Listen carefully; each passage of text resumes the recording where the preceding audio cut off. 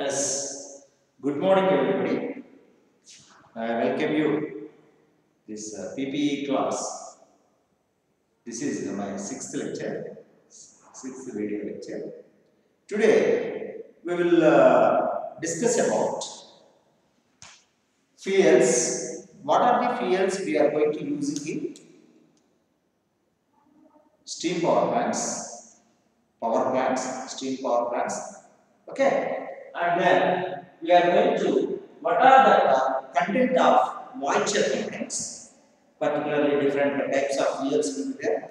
Those fields, what is that uh, moisture content, and uh, how much it will be there, how the means any fuel is going to be burned, and uh, we discuss particularly fields, types of fuels. In the types of fuels, what is that uh, coal? What are the types of coals? What are the enthalpies of coal? Those things we will discuss. And afterwards, solid fuels and next fuels means liquid fuels that is we will discuss what are the liquid fuels we are going to use it for burning of to generate that power and after that what is that gas we are going to using to generate the power so these three things today we will discuss. So what is that first basically what is that fuel? The fuel is nothing but it is that the combination of hydrogen and oxygen and it is going to be giving and it is uh, igniting. That is called as fuel that is called as fuel so the fuel is defined as it is having hydrocarbons combining with oxygen and it is going to be giving heat generation. So that is called as fuel in this uh, we have fuels we are having three types of fuels we are having. One is the solid fuels, next one is the liquid fuels, third one is the gaseous fuels. Now we will discuss in that we will discuss how that combustion of fuel is going to take place so combustion of of uh, power plants if you want to generate that power we want to ignite that fuel so generally we are going to use it in uh, power plants means like what are power plants we are going to using that uh, fuels is coal oil and gas. So that is the thing that we discussed. Solid fuels liquid fuels fuels so generally these three types of fuels we are going to using for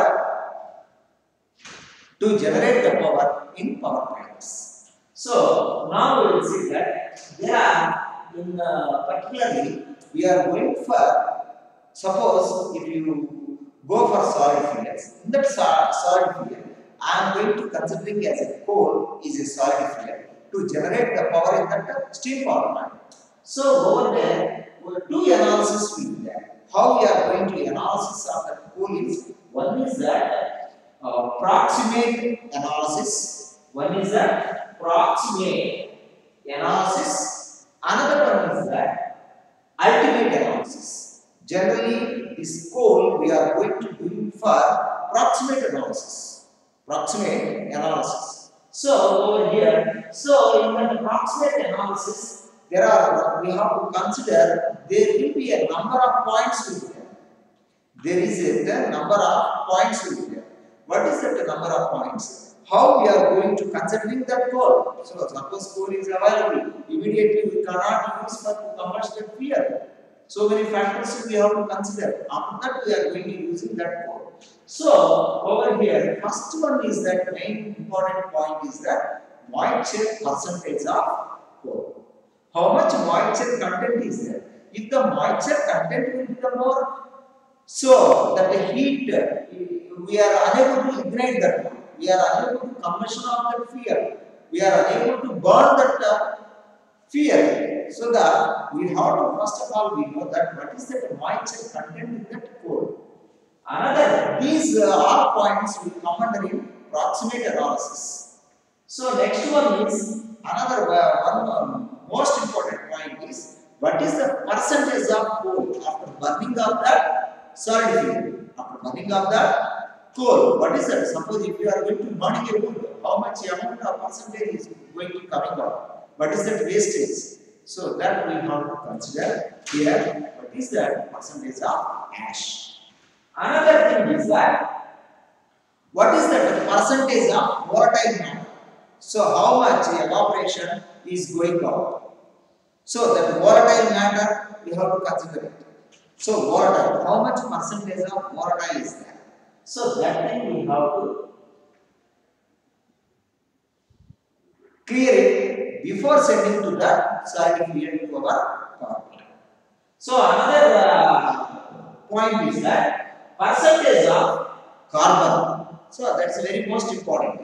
If the percentage of the carbon is more, it is very difficult. What is that percentage of carbon? Not only carbon, what is the percentage of sulfur? What is the percentage of uh, H2O? What is the percentage of uh, nitrogen? What is the percentage of carbon monoxide? All these things we have to note it first of all. Okay, first of all, we have to note that what is that percentage. So that's uh, one of the main uh, point uh, for after burning of means we have to go for always we have to go for eco-friendly purpose. So for that we have to know that what is the percentage of carbon. Carbon percentage, how much after burning of the coal, that solid fuel, any fuel I can say that what is the percentage we can estimate. Any fuel, you can take this uh, uh, solid fuels, liquid fuels, gaseous fuels and all the things, whatever it may that you take, all fuels we have to know that what is the percentage of carbon. And uh, as well as what is the uh, percentage of sulfur, what we discussed, what is the percentage of ash, what is the percentage of fuel, what is the uh, temperature, what is the fusion temperature, igniting temperature. That is very most important. What is the temperature we are going to attain? Whether that our material is going to be distant or not. That is the one of the point. Okay, so this uh, fusion temperature and all of the uh, we are going to consider gas, carbon, moisture, volatile matter, and all the things we are going to consider before going off combustion of in power plant. So, so generally the percentage of the will be there one to one uh, five percent, one to five percent. In some uh, soil fields, the percentage of uh, moisture content is more, sorry, more than forty percent also. So then we have to segregate it and we have to define. Means we have to avoid for to send that combustion process, firing process. So that is it. Moisture content will be there generally one to five percent. So some of the cases it will be there for coal, it will be there more than forty percent. Okay, so before that we have to take this approximate analysis and then we have to send our fuel to the combustion in product. Okay, so another uh, thing is there here classification of coals. Now till now we discussed solid fuels. In that solid fuels we are uh, taking the types of coal.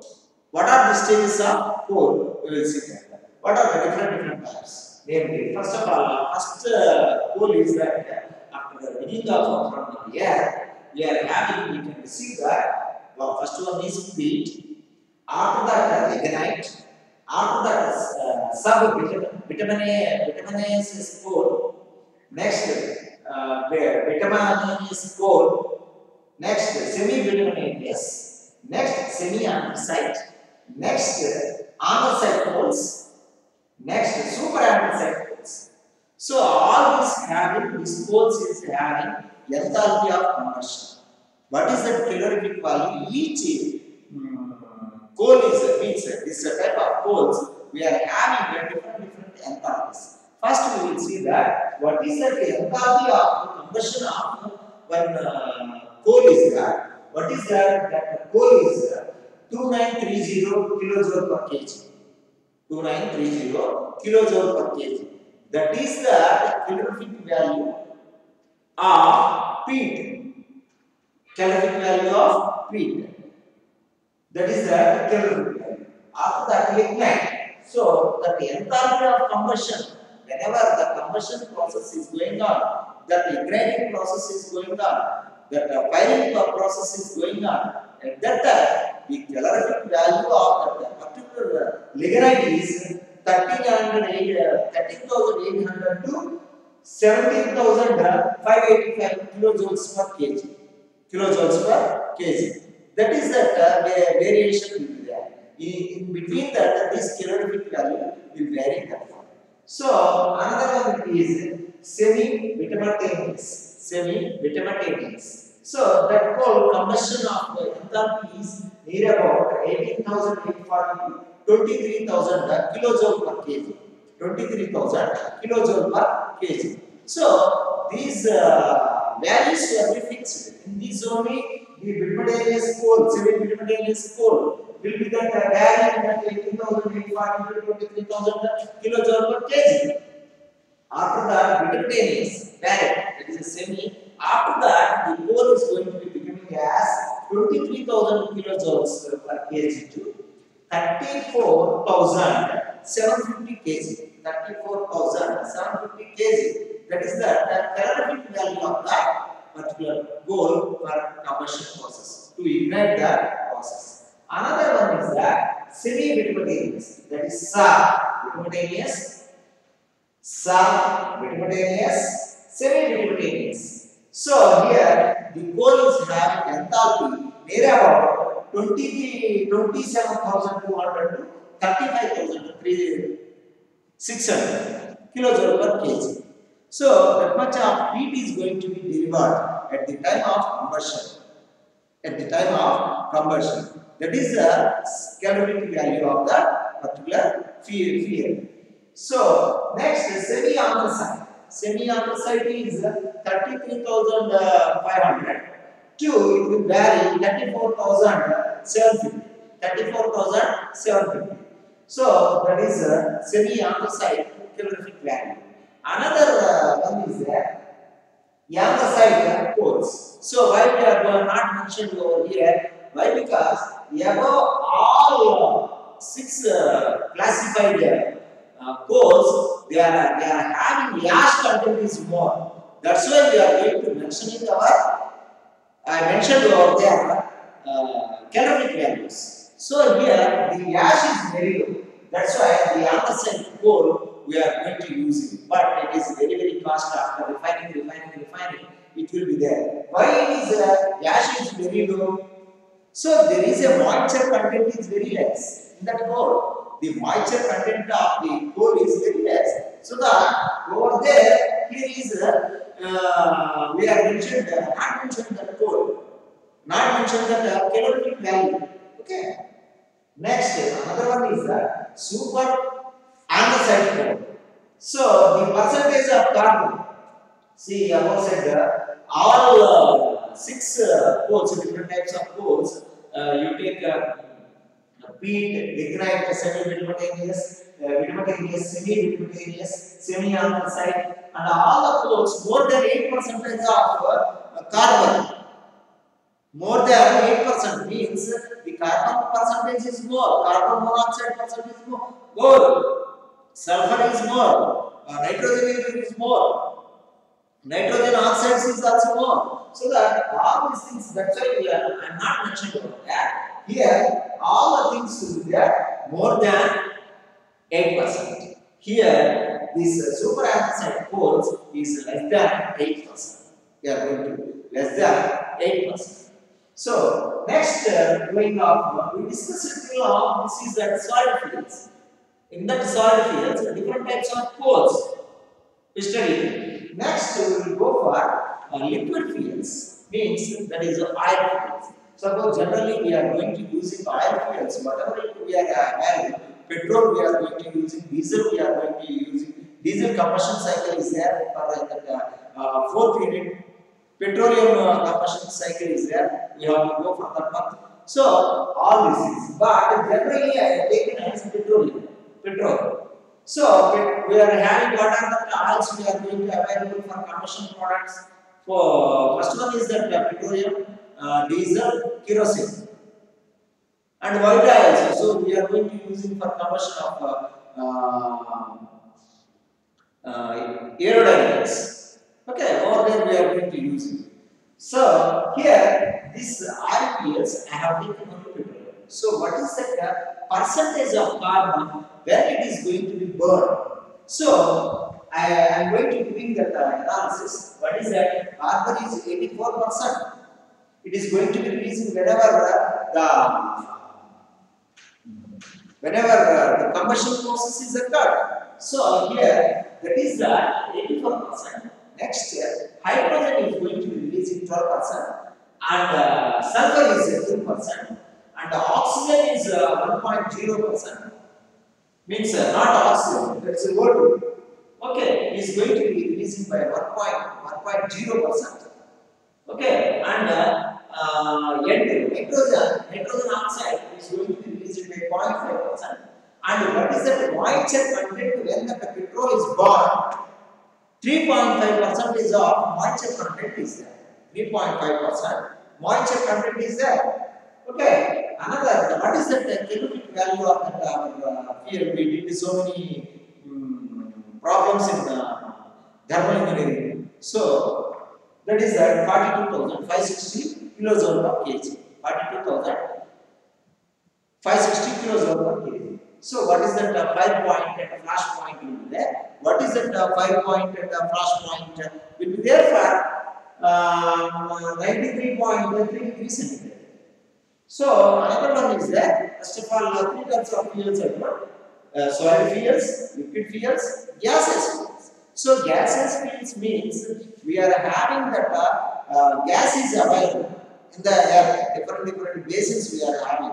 Godavari basin and uh, some uh, Bay of Bengal basin and uh, Arabian uh, Sea basin. So there are different different uh, basins we are having, and we are going to uh, acquiring means we are going to getting that uh, gases. So what are their natural? Be one point will show of that here in uh, whenever uh, liquid fuels we are going to uh, distillation. We are going to distillation that uh, petroleum, diesel, kerosene, and other fuels like oils and uh, mud oils. So over there we are going to distillation these fuels. After that only we are going to use it. After that only we are find out these percentages.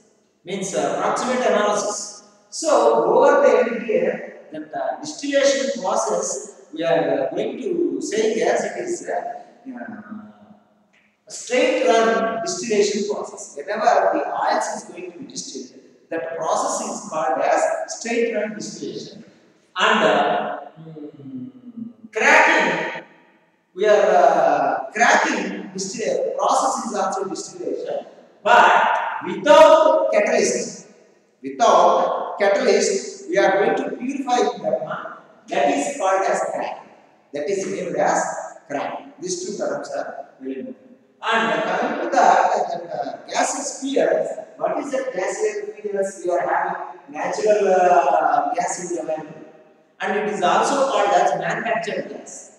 This natural gas is also we are going to call gas manufactured gas. So this manufactured gas we are subdivided into ethanol and methanol. Ethanol and methanol. So what is that uh, ethanol and uh, methanol? So what is the calorific value of the ethanol and methanol is 5 55,000 55,000 and uh, it is going to be coming to that uh, 37,000 kilojoule per kg.